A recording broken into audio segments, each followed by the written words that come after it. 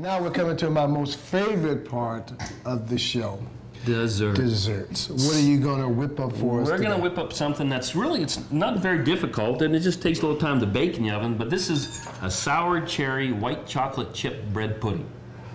sour cherry. sour cherry. White these are chocolate These are dried sour cherries from Michigan. bread pudding. Try one of those. Well, it almost Here's looks like dried cranberries or something. Yeah, they do. Very similar. Aren't those good? Good. I All right. All right. So what we're going to do is we're going to take a little bit of heavy cream. Put that in there.